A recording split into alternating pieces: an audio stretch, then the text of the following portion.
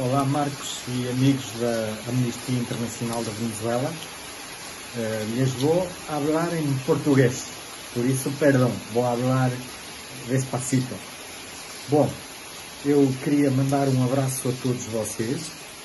A Amnistia Internacional da Venezuela foi uma das secções que, desde que eu cheguei e comecei a trabalhar na Amnistia Internacional, mais me impressionou e isto foi porque em 2017, na Assembleia Mundial da Amnistia Internacional, eu fui lá, hum, conhecia muito pouca gente e conheci o Marcos e mais alguns ativistas e membros da direção da Amnistia Internacional da Venezuela.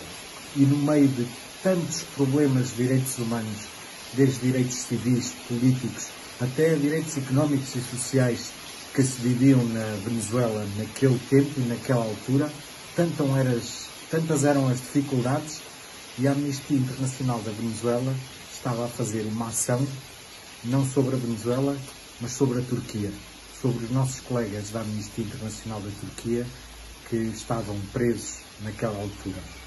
E este exemplo de, mesmo que tenhamos nós dificuldades, estendermos sempre a mão aos outros e ajudarmos os outros dos outros países, é aquilo que a Amnistia Internacional tem de mais bonito e maravilhoso.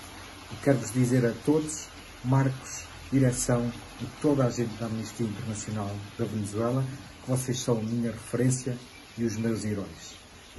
A Venezuela para nós também é muito importante. Aqui em Portugal temos uma comunidade de portugueses muito grande na Venezuela.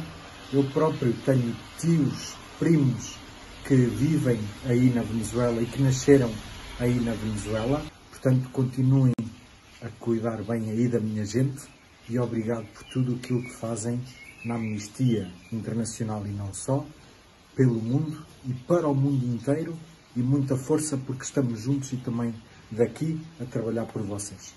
Um abraço.